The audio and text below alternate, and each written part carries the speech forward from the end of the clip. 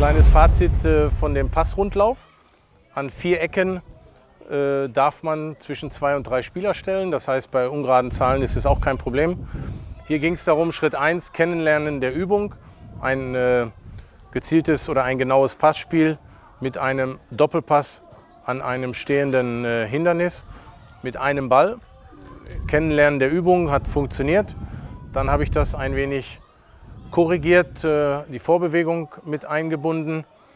Dann haben wir darauf geachtet, dass der Ball in den Lauf gespielt wird, nicht in den Rücken des Spielers, dass der Doppelpass ein gutes Timing findet.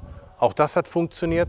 Ich habe das erhöht mit äh, einem zweiten Ball. Dort musste man die Aufmerksamkeit ein wenig mehr erhöhen, habe aber das Tempo noch nicht äh, verschärft. Am Ende noch mal einen dritten Ball dazu genommen, habe einige Fehler mit den Kindern besprochen. Einigen war der Raum zu eng. Wir haben eine passive Zone entwickelt. Kinder, die nicht in Aktion sind, gehen wirklich bewusst zwei, drei Meter zurück in eine passive Zone. Wenn sie dran sind, müssen sie sehr aufmerksam in den aktiven Bereich hineingehen. Waren die Kinder mit zufrieden. Hat dann auch funktioniert.